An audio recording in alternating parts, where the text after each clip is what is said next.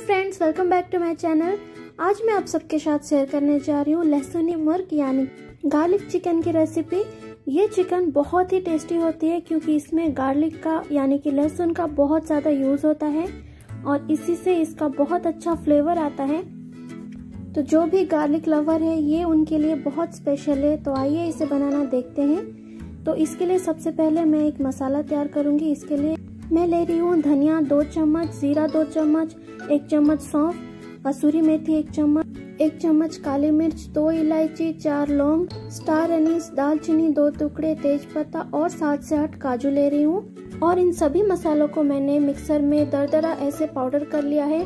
और अब मैं ले रही हूँ आधा कटोरी दही। ये हंकर नहीं है, ये सिर्फ़ दही है। और इसमें मैं ये मसाला जो मैंने अभी प्रिपेयर किया था, उसको डालकर मिक्स करूँगी।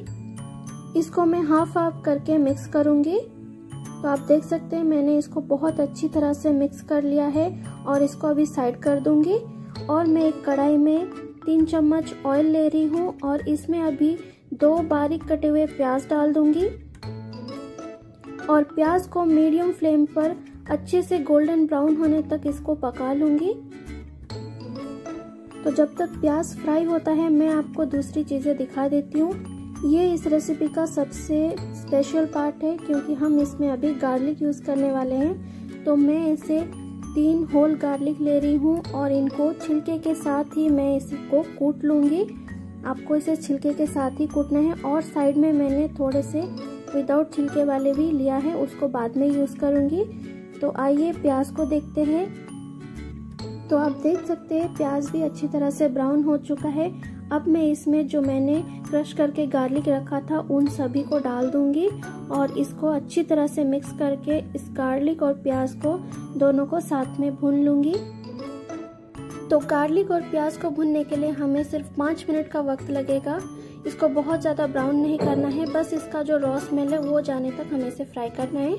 उसके बाद हम इसमें चिकन डाल देंगे। चिकन को मैंने मैरिनेट नहीं किया है।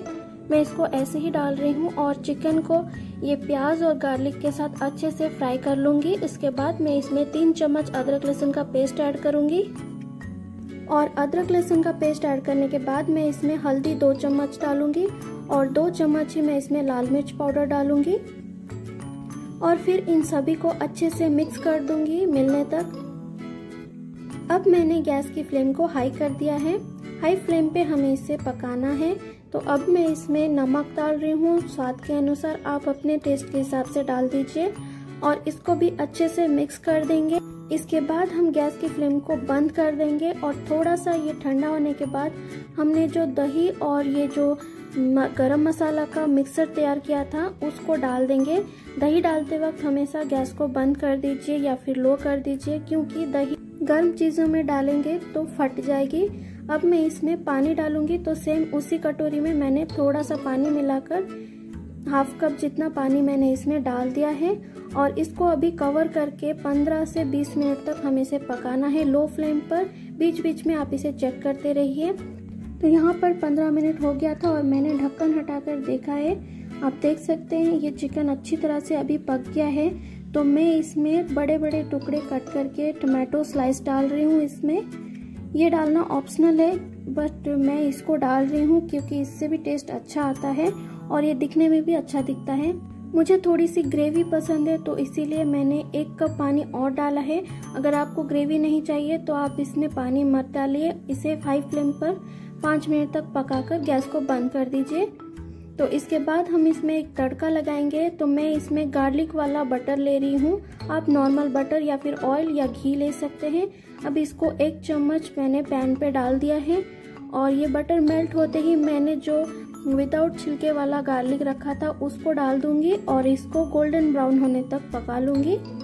जब ये गार्लिक गोल्डन कलर का हो जाए, तब हम इसमें हरा धनिया डाल देंगे। तो मैं एक मुट्ठी हरा धनिया ले रही हूँ और इसको इस बटर और गार्लिक के साथ एक मिनट के लिए फ्राई कर लूँगी और इसको इस चिकन के ऊपर तड़का लगा दूँगी। इससे इसका फ्लेवर और भी बढ़ जाएगा और अब इसको ढक के 10 मिनट रेस्ट करने देंगे। इसके बाद हम इसको सर्व करेंगे।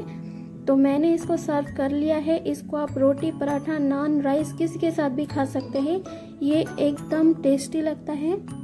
वीडियो पसंद आई हो तो लाइक शेयर एंड सब्सक्राइब करना ना भूले।